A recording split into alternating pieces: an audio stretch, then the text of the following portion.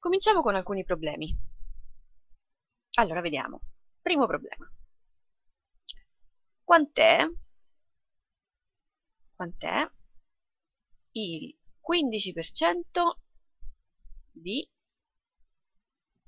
di 40.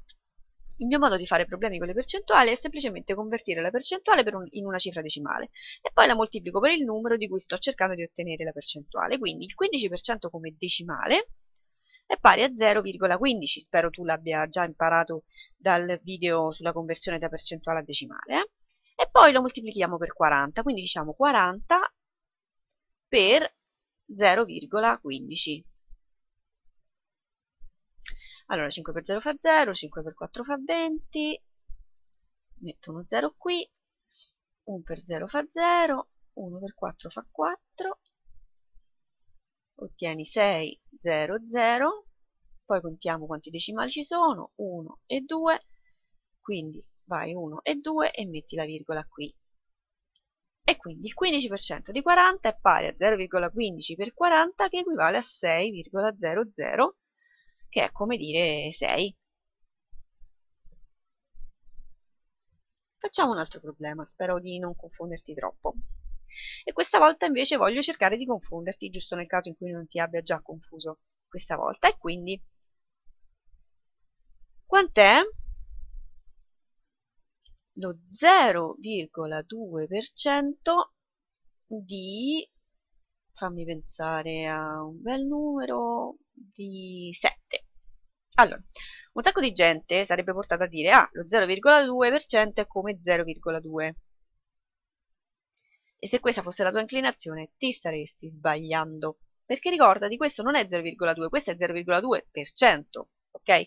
Quindi ci sono due modi di pensarci. Puoi dire che è 0,2 su 100, eh, che se, se moltiplichi numeratore e denominatore per 10 è come dire 2 millesimi, 2 su 1000. Oppure puoi semplicemente usare la tecnica di spostare la virgola di 2 a sinistra, quindi in questo caso se parti da 0,2 sposti la virgola di due posti a sinistra e quindi vai bam, ops, vai bam, bam, ed eccoci qua e quindi la virgola va lì, quindi diventa 0,002. Ok? E questo è fondamentale, 0,2% è 0,002. Ci puoi sempre cascare, io ne ho fatti un sacco di questi errori qui, eh? quindi non, non sentirtici male se, se... Però insomma, devi sempre fare attenzione quando c'è una virgola e una percentuale nello stesso tempo. Allora, Adesso che abbiamo capito come scrivere questa percentuale in decimale, non ci resta che moltiplicare questo qui per il numero di cui vogliamo la percentuale, quindi diciamo 0,002 per 7.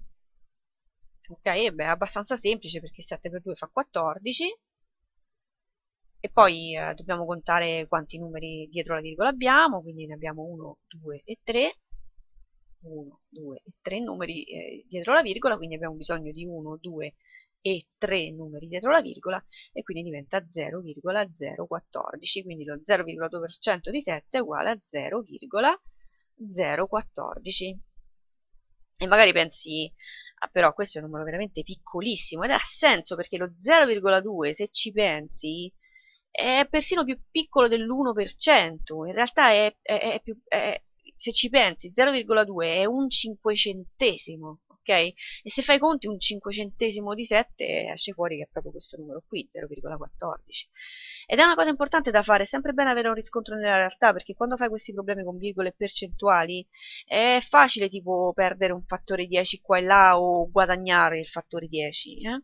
quindi fai sempre una verifica per vedere se la risposta ha un senso adesso ti confondo ancora di più allora, se ti chiedessi 4 è il 20% di quale numero? Quindi il riflesso di un sacco di persone potrebbe essere ah, fammi prendere il 20% di 4, il 20 diventa moltiplico per 4, però di nuovo in questo modo saresti in errore perché pensaci, non è che sto dicendo quant'è il 20% di 4, sto dicendo che il 20% di un certo numero è 4, ok? Quindi adesso facciamo un po' d'algebra, scommetto che non te l'aspettavi in un modulo sulle percentuali, eh? Quindi diciamo sia x uguale a, al numero, a quel numero, eh, questo numero qui sia x quel numero. E questo problema dice che il 20% di quel numero, quindi il 20% di x, è uguale a 4. Eh? E quindi adesso è in una forma che magari puoi anche riconoscere. Quindi come possiamo scrivere il 20% di x in decimale? Allora, il 20% semplicemente è 0,2, quindi 20% è 0,20 o 0,2, tanto non ci serve aggiungere lo zero finale, per x è uguale a 4. E adesso abbiamo un'equazione lineare di livello 1. Scommetto che non te l'aspettavi, eh? E quindi che facciamo? E allora, ci sono due modi, ma insomma puoi dividere entrambi i lati di questa equazione per il, coef il coefficiente di x, che è 0,2. Quindi se dividi per 0,2 qui e dividi per 0,2 qui, qui si annulla e quindi ottieni x uguale a 4 diviso 0,2. Cerchiamo di capire quanto fa 4 diviso 0,2 spero di avere spazio a sufficienza allora 0,2 sta nel 4 allora qui ci metto una virgola il modo di fare questi, queste divisioni è che devi spostare la virgola in questo caso di 1 a destra no? e quindi qui abbiamo semplicemente un 2 spostiamo la virgola a destra anche qui quindi 0,2 sta nel 4 lo stesso numero di volte che il 2 sta nel 40 ok? e questo è facile perché quante volte sta il 2 nel 40? Beh il 2 sta nel 4 due volte poi il 2 sta nello 0 0 volte avresti anche potuto farlo a mente che il 2 sta nel 40 20 volte. Quindi 4 diviso 0,2 fa 20 e quindi la risposta è 4 è il 20% di 20 e ha senso? Ma ci sono un paio di modi di pensarci. 20% è esattamente un quinto e 4 per 5 fa 20 e quindi questa cosa ha senso, ma se ancora non sei sicuro possiamo anche controllare il problema. Prendiamo il 20% di 20. Quindi il 20% di 20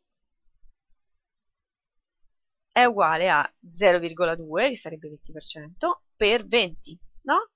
E se ti fai i conti esce sempre fuori che è 4, quindi sei sicuro che sia la risposta giusta. Facciamone un altro del genere. Sto pescando i numeri in modo casuale, eh? diciamo 3 è 3 è, è il 9% di quanto? Allora, di nuovo, sia x uguale al numero di cui 3 è il 9% non c'era bisogno di scrivere tutta questa cosa, ma insomma, in questo caso sappiamo quindi che 0,09 per x, che è 0,09 come dire 9%, no? Quindi 9% di x è uguale a 3. Ora, x è uguale a 3 fratto 0,09. Se facciamo la divisione, 0,09 sta nel 3, mettiamoci una virgola qui, non lo so di quanti zero ho bisogno, spostiamo la virgola di 2 questa volta, la spostiamo di 2 anche qui e quindi 0,09 sta nel 3 lo stesso numero di volte che il 9 sta nel 300, quindi 9 sta nel 36 volte, 3 per 9 fa 27. 3, ah vedo già uno schema qui perché qui è 3, 3, 30 per 3 fa di nuovo 27, 27, 3 e così via. Quindi continuerai ad ottenere 3 all'infinito, andranno avanti all'infinito. Quindi esce fuori che il 3 è il 9% di, lo puoi scrivere come 33,3 ripetuto. Oppure sappiamo tutti che 0,3 ripetuto è come dire un terzo, quindi potremmo anche scrivere che il 3 è il 9% di 33 e un terzo. Entrambi potrebbero essere una risposta accettabile e in realtà un sacco di volte in cui fai le percentuali in realtà stai solo cercando di ottenere una cosa approssimativa, la precisione potrebbe non essere sempre la cosa più importante, però in questo caso saremo precisi, ovviamente anche su un test devi essere preciso. Eh? Spero di non essere andata troppo veloce e che tu abbia una buona idea su che cosa sono le percentuali, ma la cosa importante per questo tipo di problemi è prestare attenzione al modo in cui sono scritti. Se ti dice trova il 10%, il 10 di 100, questo è facile perché converti il 10% in un decimale e lo moltiplichi per 100, ma se tu dovessi chiedere 100 è il 10% di quanto, devi ricordarti che questo è un problema diverso, in questo caso 100 è il 10% di, se fai i conti ti accorgi che è 1000.